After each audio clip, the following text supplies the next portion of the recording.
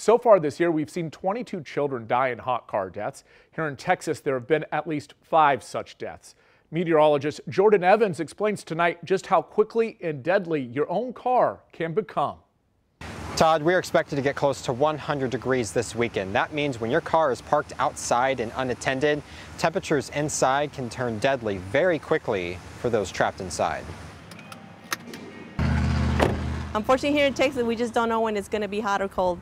So, uh, you know, that, that's a huge risk to take leaving a child in a car.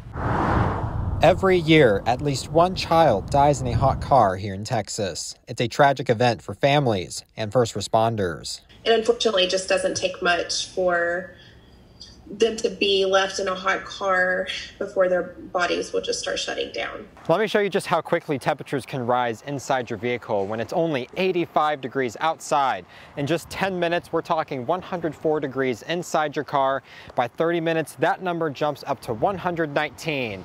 And in just an hour, we're talking 130 degrees inside your vehicle. There's not going to be a lot of symptoms that are going to be shown as their body just shuts down like i mean they become unresponsive. It, it, happens very quickly. A tragedy that is easily unavoidable. Officer sophie martinez with the waco police department told us multiple ways to remind yourself about who is in your back seat. A lot of times it's uh, the parent that normally does not take the child with them and so they're not used to having that in their normal everyday uh, practice so what you can do, leave something that you need to take to work or need to take with you that you cannot be without in the back seat so that that way you're forced to check the back seat.